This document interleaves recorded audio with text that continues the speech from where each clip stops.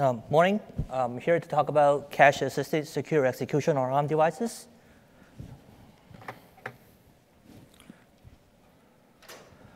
Okay, um, this is the outline of my talk. I'm going to start with um, why did we start this project, and then look into um, the threat model, uh, who are we defending against.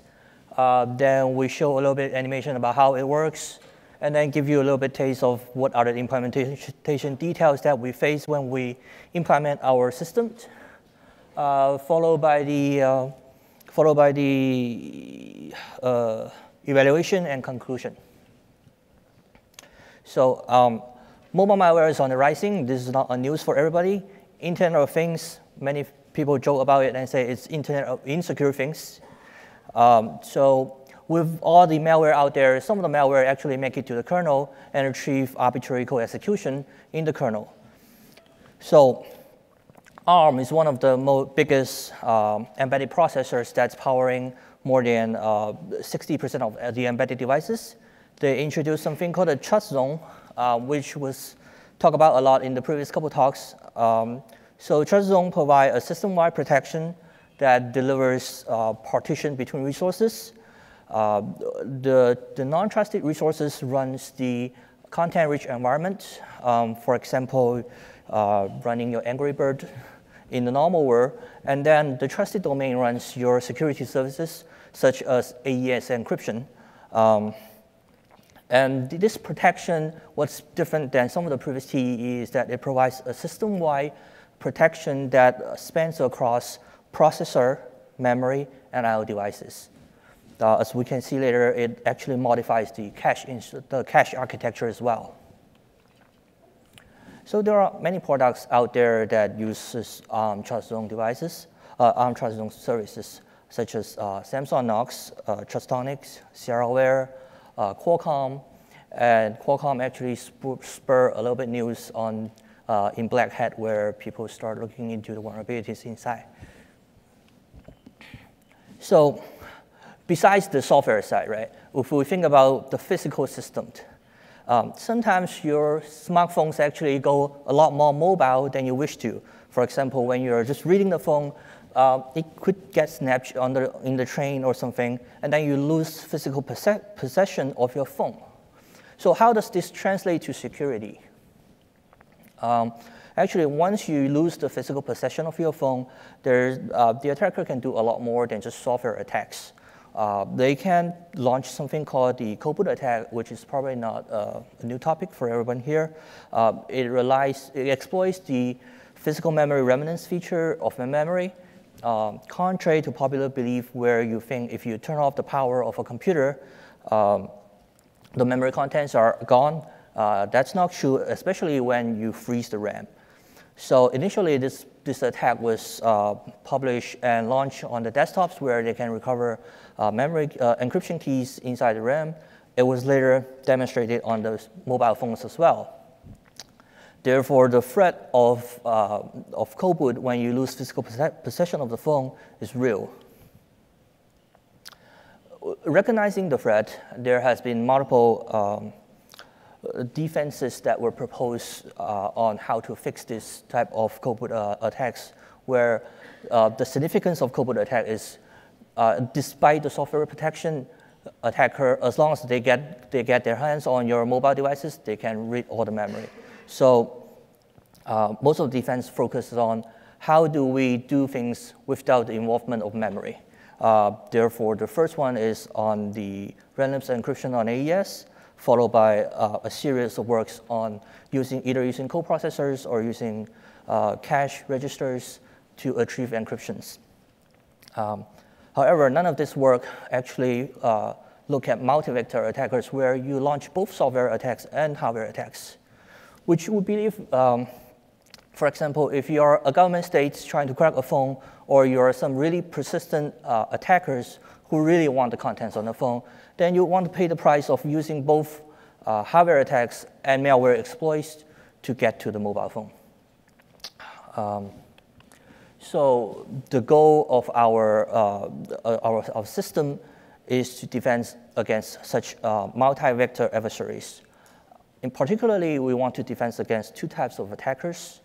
Uh, the first type of attacker is the physical memory disclosure attack, which is the cold boot attack, where you gain unrestricted read access to the memory. And the second one is uh, we assume attacker can exploit the OS through some vulnerabilities. So uh, they can get control to the page table and things like that. And the design goal of our system is to provide confidentiality and integrity to both code and data segments of the binary, as well as the runtime data.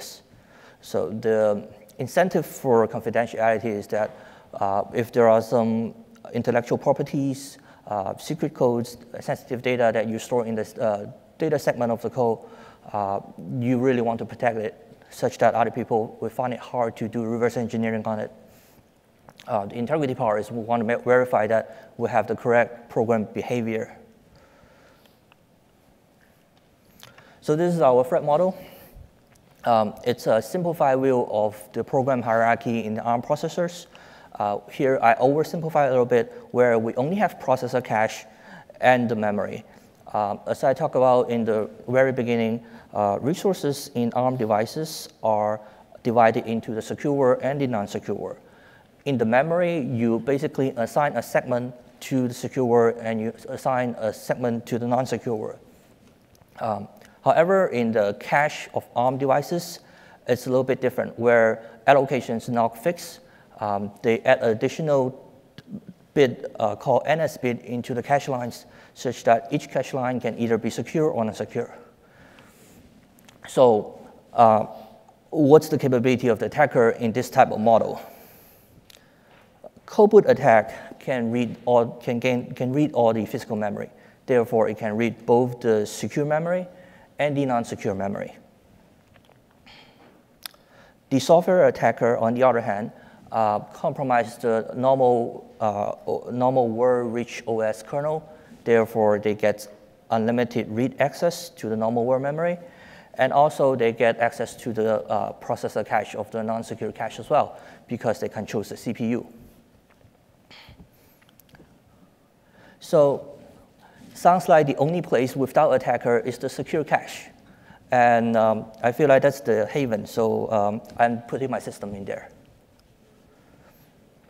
Uh, so here we go into uh, an overview of how the system works. Uh, we have, we designed two execution uh, modes. One is secure mode, the other one is uh, normal, uh, non-secure mode. In secure mode, we use the secure, the secure cache is the execution environment uh, memory, and in non-secure mode, we use the non-secure cache. There are trade-off pros and cons that we'll discuss further details in the paper, um, but let's go into the how secure mode works. So uh, applications are encrypted in memory, and then when they need to be executed, they, they get loaded into the cache the key is uh, loaded from the secure storage, and when the application binary is loaded into cache, uh, so is the application context. Because when you consider the ex execution of a program, it includes the data segment, the code segment, also the stacks, heaps, and other uh, application context environment, which we want to store all inside the cache such that we can protect the entire application and the execution. So the application is then decrypted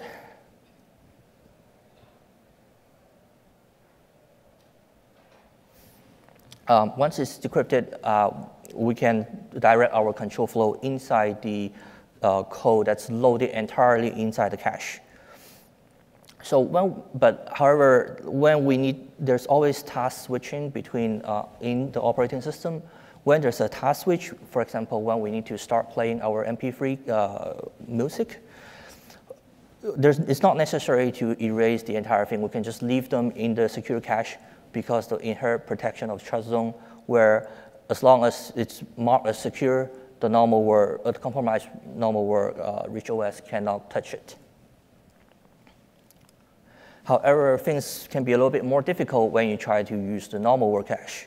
Um, the incentive for us to use normal world cache is because uh, if we place everything in secure cache, yes, we have less overheads during the test switch. However, that, that also implies if we have a vulnerability inside the, um, the code itself, which is nowadays it's hard to guarantee that codes are free of vulnerabilities, then um, our TrustZone is on too.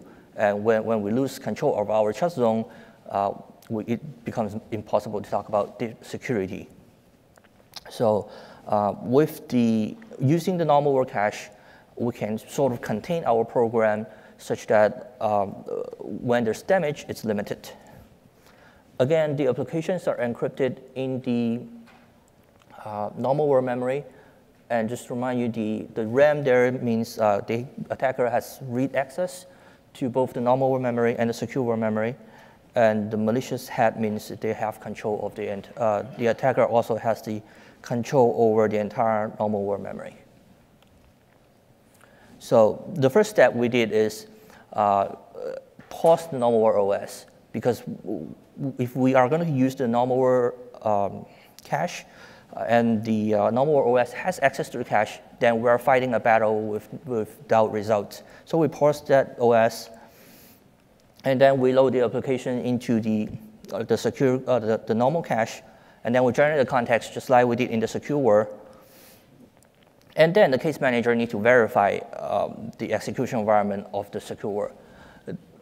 Inside this verification, why it's different than the uh, uh, secure cache execution mode is because if you think about it, most of the modern cache use um, uh, PIPT, physically indexed, physically tagged caches However, the processor actually runs in virtual memory mode. So there's, there's this translation from the virtual address uh, to the physical address, then map to the cache.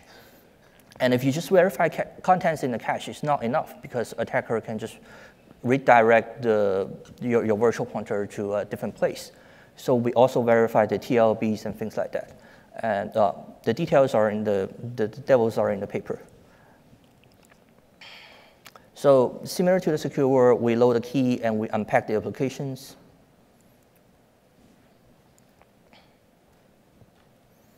Once it's unpacked, uh, we can start executing, do all sorts of stuff, for example, decryption, encryption, kernel checks. Uh, once it's done, when we need to switch other type of tasks, uh, the application context need to be safe because uh, the normal cache is accessible by the uh, adversaries. So we encrypt the content using the packer again and save the encrypted content in the memory. And because cold boot attack only has read access to the memory, it cannot tamper with our encrypted context. So now I go give you a little bit two, two details in my implementation. Uh, the first detail is uh, controlling the cache. So cache is designed to be a transient feature in processors where you're supposed to be just use it as a black magic. Uh, how do we control it? We use the um, cache lockdown registers. So in ARM, in order to and give some specific and, uh, performance enhancement capability to designers, they introduce something called a cache lockdown, such that if you know a cache is going to be frequently used, you can lock that down uh, in order to avoid cache pollutions. Uh, the granularity of the locking in, uh, in our uh, processor, the Cortex-A8, is per cacheway, and there are eight cacheways of a total size 256 KB of L2 unified cache in Cortex-A8. So we can either lock the caches 32 KB, 64 KB, 96 KB. So how do we lock the cache, right? Uh, the first step is we disable the local IRQs, we make sure nobody can bother us. Um, the second step is we uh, enable the caching in the, of the memory area, um, and then we disable the caching of loader code and loader stack. Uh, the reason why we need to disable that is if we enable the caching of the loader code and stack, when we, load, when we try to load the memory, uh, a lot, the other values that are associated with the loader pro program will also be loaded into cache. And we really don't want to lock that particular loader code in the cache instead of our stuff, like the, the program execution space of the application that we want to protect. Once we, uh, once we disable the uh, caching on those loader codes, uh, we invalidate the uh, caching for the memory area that we want to load. Um, so why did we do that? Uh, the reason we did that is because uh, in, in many of the, computer architectures, such as ARM, you don't have a notion, you have multiple levels of cache first, first of all. So you have L1 cache, L2 cache, L3 cache. And our caching uh, locking is only enabled on the L2 cache. Therefore, if the memory area was previously filled in the L1 cache and we lock the L2 cache, we end up not locking the cache at all. That's why we want to invalidate it. And then when we load it in, it would be automatically filled into both L1 and L2 due to the cache filling process inside the processor. Um, and then we basically, we toggle the switch and say all the cache go to the designated way of locking for us. Uh, once we do that, we uh, iteratively load the, load the memory, causing cache fills on the memory area. Once the memory area is all filled in the cache, in other words, there's a cache line for each memory address that uh, we're going to use for the application space. Uh, we lock the cache. So that's one of the implementation details we did. The second challenge that we find interesting is um, handling self-modifying programs. Uh, if you recall that we decrypt our application entirely in cache, so it's an in-place decryption. Uh, on on uh, modern computer caches, you have uh, separated L1 data and L1 uh, instruction, right? So, for example, when they, they are both loaded as encrypted in the cache in the L1 cache, when it's decrypted, uh, the, the decrypted value is actually stored in the L1 data. So now we have a matching between the instruction and data. And if you're lucky like me, you're going to see this screen, which tells you the kernel has died and you need to reboot the processor board. Uh, so the common way of fixing this is you would flush everything to, everything to memory, and then just let the synchronization does its job.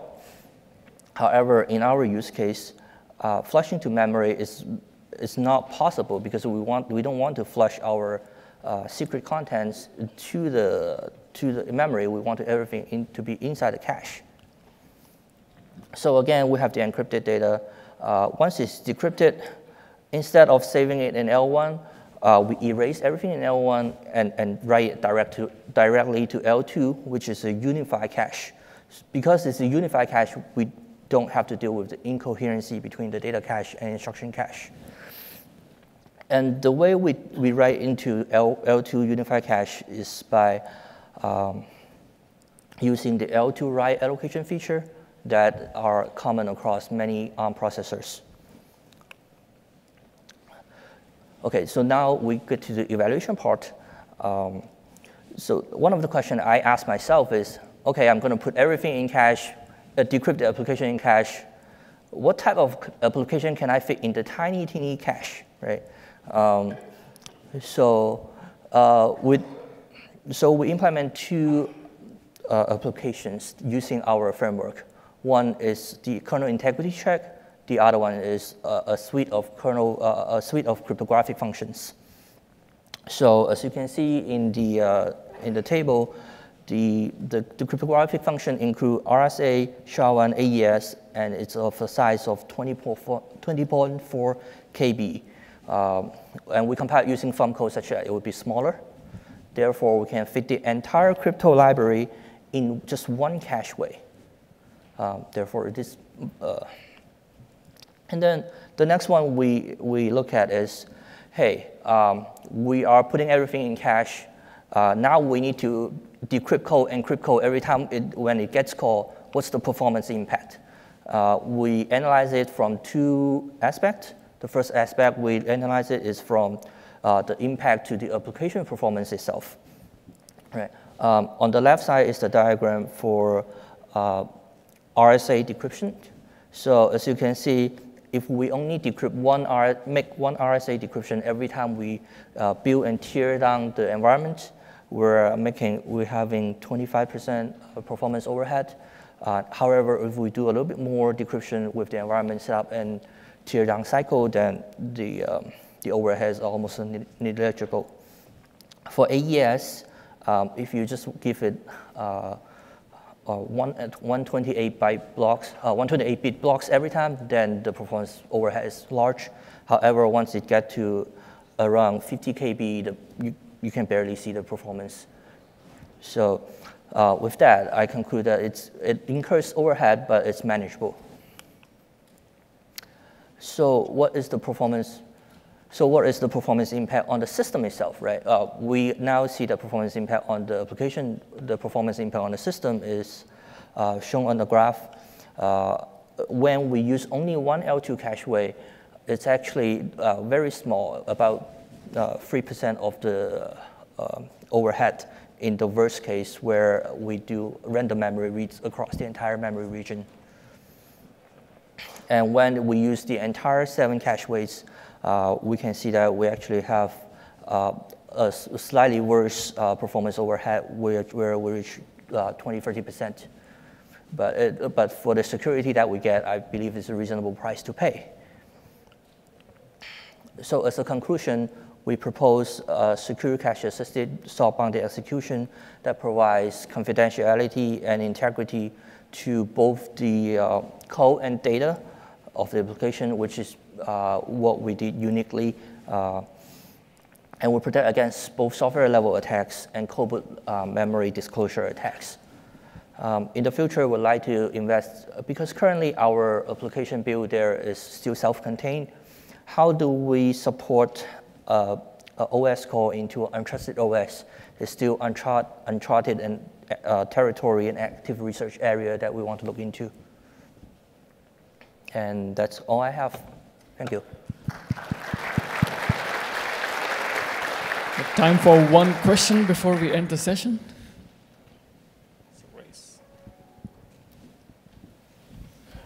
It's a very nice work. This is Yan Lin from Apple. Uh, during our talk, you mentioned that you are going to pause the operating system when you load something into the cache. Can you please provide more details about what you, will, what you are doing when you pause the OS? Uh, is that possible that attacker can use the DMA to overwrite the contents in the cache? Thank you. Ah, that's, that's a great question. Uh, so uh, we did we, we write about that detail in the paper, but uh, when we pause the OS, we basically disable auto interrupts. Yes, they can program an uh, DMA-capable device to come back and rewrite, and we did verification there to, to see that they cannot rewrite our cache. They can rewrite our memory, which is fine, but the cache environment is protected. Uh, did I answer your question? Uh, sure, we can discuss more details. Thank you. Okay.